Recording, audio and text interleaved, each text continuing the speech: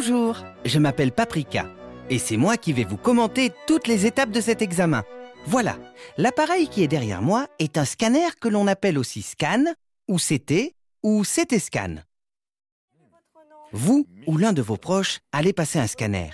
Cette vidéo a pour objectif de vous présenter le déroulement de cet examen radiologique. Tout d'abord, un ou une technicienne en radiologie médicale va venir vous accueillir. Cette personne vous posera quelques questions portant notamment sur les médicaments que vous prenez actuellement, sur vos éventuelles allergies, ou encore, si vous êtes une femme, pour savoir si vous êtes enceinte. Elle vous emmènera ensuite dans la salle où se trouve le scanner.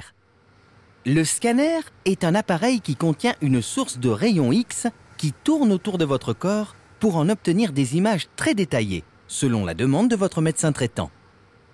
Cette technicienne en radiologie vous invite à passer en cabine pour vous déshabiller et revêtir la blouse de l'hôpital. En effet, vêtements et bijoux peuvent gêner pendant l'examen. Selon la région du corps à examiner, on pourra vous administrer un ou plusieurs produits de contraste pour mieux voir les organes. Il y a trois manières de le faire.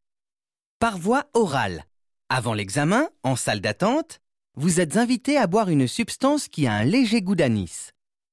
Par voie veineuse, le produit vous est injecté quand vous êtes sur la table du scanner. Ce mode d'administration entraîne fréquemment des bouffées de chaleur et vous laisse un drôle de goût dans la bouche.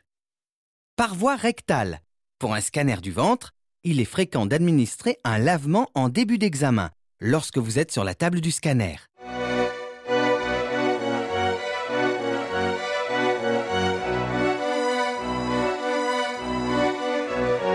Et maintenant, je vais vraiment vous montrer comment se passe l'installation. Voilà, il faut se coucher comme cela sur la table, la tête dans cette direction et les bras bien au-dessus de la tête. Une fois que vous êtes installé, la table va bouger pour vous faire rentrer dans la machine. Elle bougera aussi pendant l'examen. Ne vous inquiétez pas, c'est tout à fait normal. Après avoir répondu à vos éventuelles questions, l'examen peut commencer la technicienne va passer dans la pièce à côté, s'installer devant le poste de commande du scanner et procéder à quelques réglages. Grâce à un interphone, elle pourra vous parler. Par exemple, pour vous demander d'arrêter de respirer un instant. Vous pourrez également lui parler à n'importe quel moment si vous le souhaitez.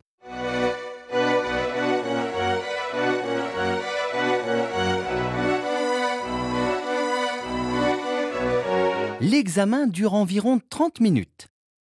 Et voilà, c'est tout. L'examen est terminé. Après le retrait de la voie veineuse éventuelle, vous pouvez vous relever en gardant un instant le coude plié. Puis, vous pouvez à nouveau manger, mais surtout beaucoup boire, afin d'éliminer le produit qui vous a été administré. Les images seront interprétées par un médecin radiologue qui adressera un rapport à votre médecin traitant dans les prochains jours. Voilà, j'espère avoir été assez clair. Mais surtout, n'hésitez pas à poser toutes les questions à l'équipe qui va vous recevoir. Et de toute façon, tout vous réexpliquer. Au revoir